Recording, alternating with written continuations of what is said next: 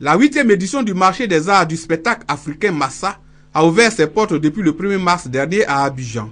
Prévu initialement pour se tenir pour la première fois à Boaké, du 1er au 8 mars, c'est finalement ce vendredi 7 mars que les populations de la région de Béké vont découvrir le marché des arts du spectacle africain.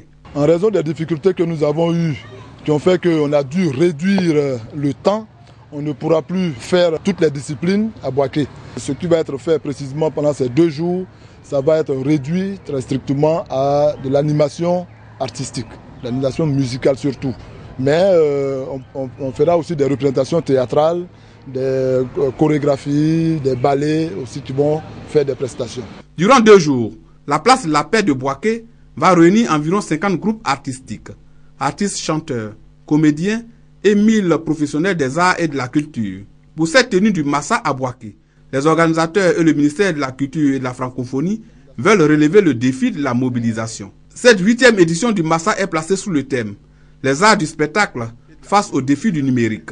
Initié en mars 2013, le marché des arts du spectacle africain se veut un soutien à la création et à la production de spectacles de qualité, la facilitation de la circulation des créateurs et de leur production en Afrique et dans le monde entier.